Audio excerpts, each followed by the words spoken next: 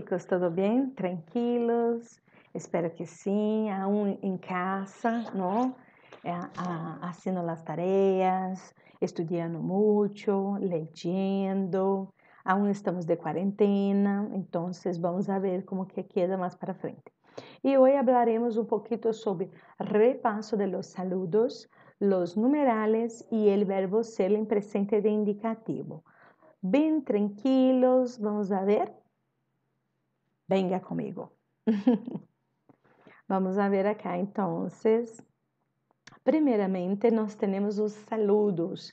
que são os saludos? Saudações. Quando a gente chega, a gente cumprimenta as pessoas é, é, que nós temos intimidade e pessoas que a gente não tem intimidade. Então, nós outros damos saludos, cumprimentamos, saudamos essas pessoas. Em espanhol, nós temos olá, Buenas, buenos días, buenas tardes, buenas noches. ¿Todo bien? ¿Qué hay?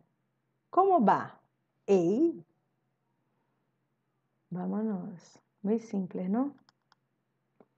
¿Qué pasa? ¿Qué me cuentas? Ó, oh, que passa? O que há de novo? Que me cuentas? O que me conta? Que tal está? Como está? Como levar? Como está indo? Como se encontra? Como tem passado?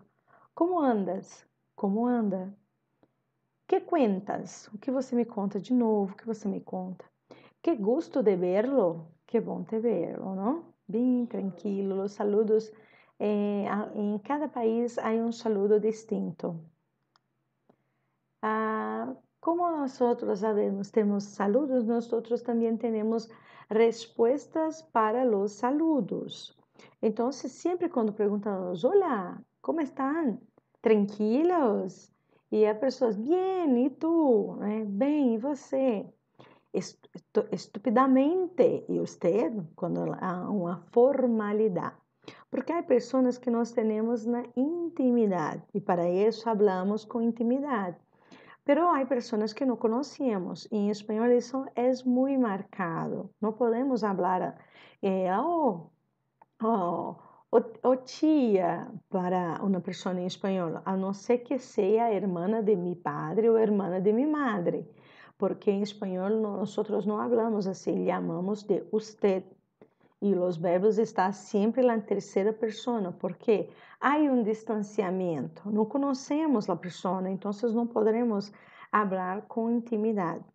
E em intimidade quedamos para tio, tia, solamente quando são hermano ou hermana de meu padre, de minha madre, pessoas que tenho muita consideração, muito, eh, muito apreço, sim, que tenho muito carinho, por isso hablo, ¿vale? Então, todo bem, e você? Porque eu não conosco. Ah, tudo bem, e você? Ou no caso de você, seria senhor ou senhora. É, muito bem, graças. Bem demais, obrigado. Genial, muitas graças. Magnífico, muito obrigado. Como estás? Como está? Que tal? Que tal? Que tal? Tudo bem? ¿No? A mí me gusta mucho de hablar, hola, ¿qué tal? Eh, o para personas que no conozco, generalmente hablamos buen día, buenas tardes, ¿no? Más sucinto, buenas noches. Cuando estaba en un viaje para Chile, en Chile eh, hablan mucho, buen, buen, buen, que es que es bom, bom, ¿no? E não hablamos, ah, buen dia, buen dia, não é buenos dias, não? Habla só buen dia, é muito distinto. Cada país, cada sítio tem sua, maneira de falar, sua cultura e temos que respeitar muito. Então, quando falamos olá, que tal, oh, bien, aunque não conhecemos as pessoas, eh, falamos com elas e nos apresentamos, né? A apresentação. Em espanhol, presentações. Então, hablamos assim: Como te llamas? Qual é tu nome? Quem eres tu? Aí a, a, a resposta da apresentação: Soy Sou Aline, maestra de espanhol. Sou Aline, professora de redação. Isso é. Mi nome é Aline, nome, me chamo. Eh, muito gosto, encantado, encantada de conhecerte. ¿De onde eres? Sou de. Mira que agora estamos utilizando o verbo ser, porque o verbo ser é de unos de seus usos é pertenencia, não? E as pertenencias de, de onde somos, não? Somos brasileiros, somos guianos ou de Brasil. Tranquilos, adelante, vámonos. Então, se chegamos, saludamos, apresentamos, hablamos um pouquinho, depois temos o que? Despedidas. Adiós. El primeiro, adiós, adeus. Hasta luego, até logo. Hasta la vista, até a vista. Hasta la próxima, até a próxima. Buenas noches, buenas noches. Tchau e tchau. E nosso tchau. Hasta amanhã, até amanhã. Cuida-te. Ai, me encanta esse. Cuida-te, chiquito. Cuidam-lhes, não? Cuida-te, te cuida. Nos, ve nos vemos, nos vemos. Nos vemos. hasta outra, né? Hasta outra, até a próxima. Né? São todas despedidas. Uma que muitos chiquitos falam muito é hasta luego, baby, né? ou hasta, hasta luego, nena, né? Hasta la vista, baby, né? Até a vista. Então, são despedidas. Hasta pronto, até logo. Nos vemos pronto, nos vemos logo. Igualmente, graças. Esse igualmente é muito interessante quando a pessoa, ah, prazer, prazer em conhecer, ah, igualmente, graças, não? É, que te veja bem, ou seja, que passe bem, que você vai bem, é, que passe um bom dia, que tenha um bom dia, que passe uma boa tarde, que tenha uma boa tarde. Graças, obrigado, muitas graças, muito obrigado. E tem outras também, outras despedidas muito interessantes. Que durmas bem, durma bem, Cuide-se. Ai, me encanta, cuide-se.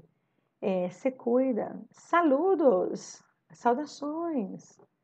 Vem de longe, assim, a gente não quer muito contato, às vezes, né? Ah, saudações, saludos.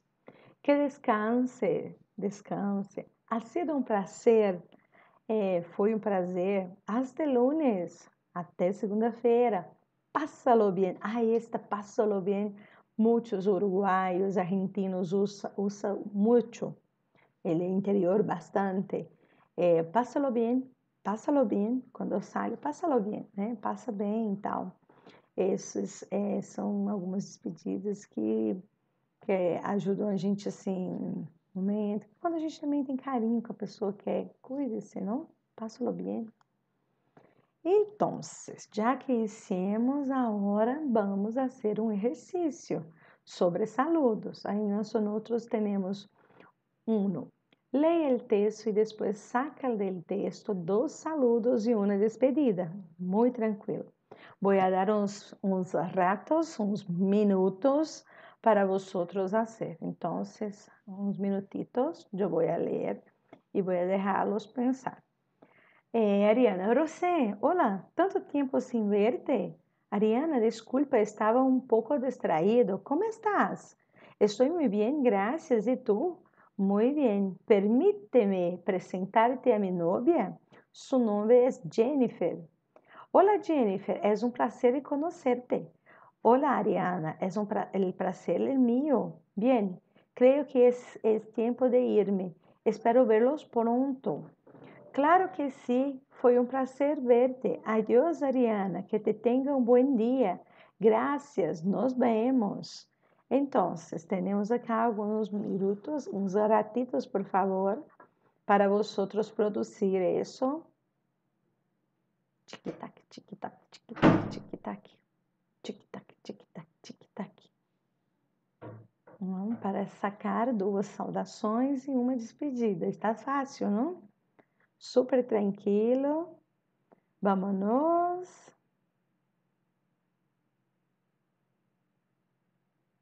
Pronto, listo. Ahora, respuesta. Hola, ¿cómo estás? Y adiós, ¿no? Puede ser otros también. Tranquilos. Vámonos. Entonces, vamos para otra, otro, otra materia que necesitamos. Los numerales, recuerda. Entonces, vamos conmigo bien despacios, bien tranquilos.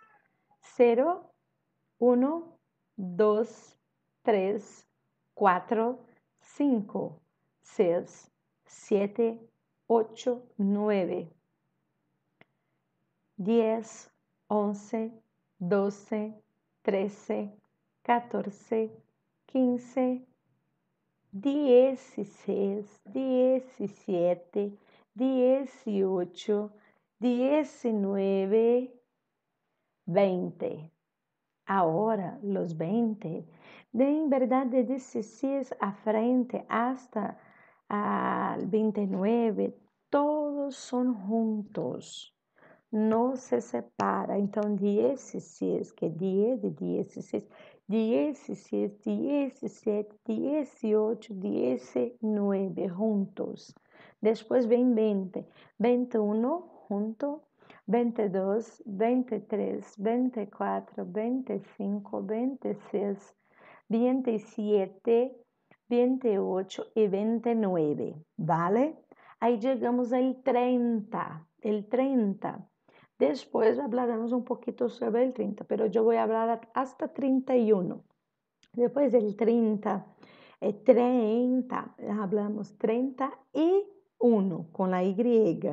Então, 31, 32, 33, 34, 35, 36, 37, 38, 39, 40, 41. Aí todos vão ser 40, 50, 60, 70, 80, 90, todos 91, 92, aí são separados pero del 16 hasta el 29 juntos, ¿vale? Tranquilos, eso es.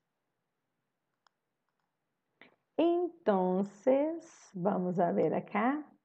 Mira, para acá, para acá. Entonces, escriba en letra los numerales abajo.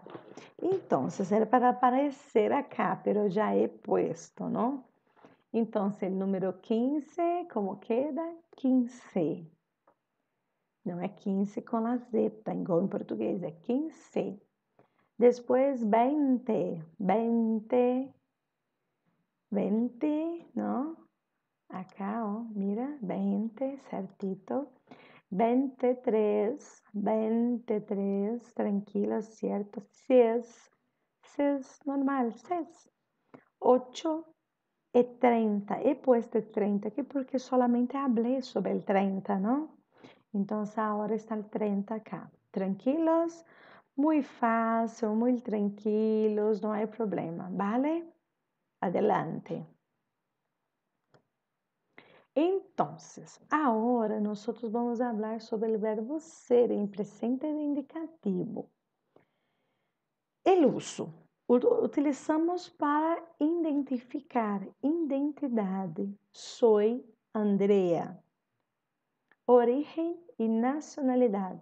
Somos brasileiros, somos argentinos, que quedou sem lá esse, pero poderia ser, ah, minha abuela era espanhola, era, é, era, no caso, porque é passado, porque já morreu pero tengo amigos que, eh, tengo amigos que son españoles, eh, españoles, en español. Entonces, eh, destinación, este mensaje es para ti. Es aquí, ó, o destino, né? Propiedad. Esta foto es de Carmen, es de Carmen propiedad, ¿no? Entonces nós temos acá algunos de los usos, porque vai ter mais. Identidade, origem, nacionalidade, destinação e propriedade, ¿vale? Vamos adelante. Outros usos. Características permanentes. La cordillera de los Andes es un aspecto natural É, a Cordilheira dos Andes, sim, é um aspecto natural, é um aspecto, é aquela, aquela cordilheira que tem, é, que, que tem em, em Chile e Argentina, en una parte de la, de Argentina y en la parte de Chile hace hasta el, la divisa, pero la mayor parte es en Chile, ¿no? Y es un encanto, es algo muy, muy, muy, muy fenomenal. Quien tuviera oportunidad de verla, eh, tiene vulcanos arriba de ella, tiene nieve, mesmo quando eu he passado em, em verano, era verano em Chile, e estava coberto de neve porque é muito, muito, muito, muito, muito alto. Muito interessante. Há que ver. E onde quedam as llamitas? As llamas le gustan la cordillera, a, cerquita de la cordillera. Então, é muito interessante. E é um aspecto natural. Assim como o nosso eh, rio Araguaia é um aspecto natural, não? Grande, bonito. Entonces, definición. La cordillera de los Andes es la mayor cadena de montañas de América del Sur. Sí. Yo nunca he visto algo tan fenomenal. Entonces, una definición es como si decir eh, en Goiás, el río, el río el Araguaia, el río Araguaia es el mayor del Brasil, del, del Brasil, del Goiânia, del, de Goiás porque es el río mayor, ¿no? Entonces, es una definición. Situar el espacio en el tiempo. La mejor competición de esquís es la, la Cordillera de los Andes, ¿no? Para situar, por ejemplo, eh, las ferias, las vacaciones, las vacaciones de julio, la mayoría de los goianos pasan en Rio Araguaia, não? Então, assim, para onde que? A Rio Araguaia ou Caldas Novas, não? Então, isso é isso. Para indicar as horas, são as dez e meia. Eh, são as dez e meia, são as sete e meia, são as oito e trinta. Quando se diz uma hora, é, é lá uma hora. Depois de lá, duas, duas horas, Todos son las dos, son las tres, son las cuatro, son las cinco, son las seis, son las siete, son las ocho, ¿vale?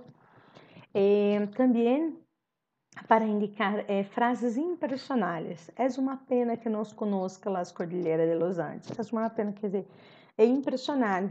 Ah, pode ser qualquer pessoa que não conozca. É pena, ¿vale? Tranquilos, então vamos adelante. Entonces, el verbo ser, la conjugación en presente de indicativo, nosotros ya hablamos sobre él, pero vamos a hablar de nuevo para tenermos siempre esta, esta, esta certeza eh, y este quedarse en, en nuestros estudios bien. Yo soy, tú, vos eres, ella, ella y usted es, nosotros somos, vosotros sois, ellos, ellas y ustedes son. No puede cambiar todos. Yo soy con soy. Tú solo con eres. Ella, ella, usted solo con es. Nosotros somos. Yo no puedo por nosotros soy. ¿Por qué? Aqui está primeira, segunda, terceira singular, persona de singular primeira, segunda, terceira persona de plural.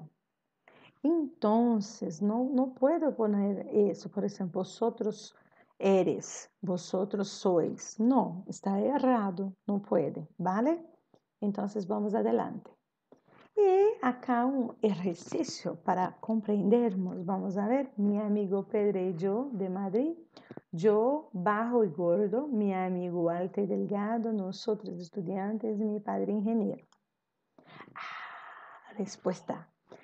Mi amigo Pedro y yo somos, mi amigo Pedro y yo somos nos, nosotros, ¿no? Pero somos de Madrid. Yo soy bajo y gordo. No, yo no soy gordo. Gorda. Mi amigo es alto y delgado. Oh, Nosotros somos estudiantes y mis padres son ingenieros. Muy tranquilo isso. Então, amados, aqui na América Latina, acá Brasil, que habla português, e aqui toda a América, que habla espanhol, pero somos latino-americanos. Então, besitos, quédase com Deus. Hasta luego.